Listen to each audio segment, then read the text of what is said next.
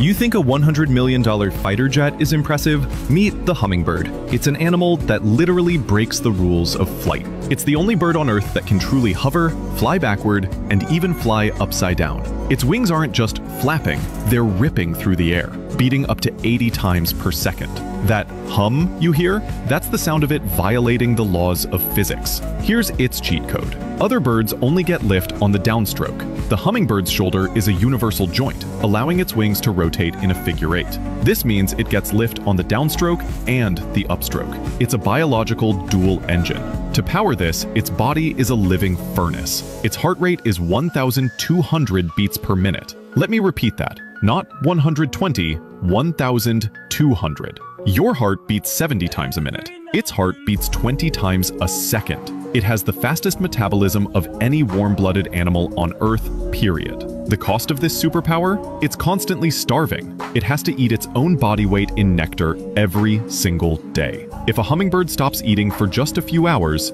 it dies. So how does it survive the night? It has a built-in emergency shutdown called torpor. It's basically a mini hibernation. It drops its metabolism by 95%, slowing its heart to a crawl, just to survive until breakfast. And it's fast. It can cruise at over 30 miles per hour. But during its courtship, Flex, the male will dive from 100 feet, hitting over 50 miles per hour, just to stop on a dime and hover in front of the female. So when you see a hummingbird hovering at a flower, it's not resting. It's a high-performance machine in a state of controlled crisis. Its wings are blurring, its heart is redlining, and its tail is working overtime as a rudder, just to stay stable. It's not a bird, it's a miracle of engineering.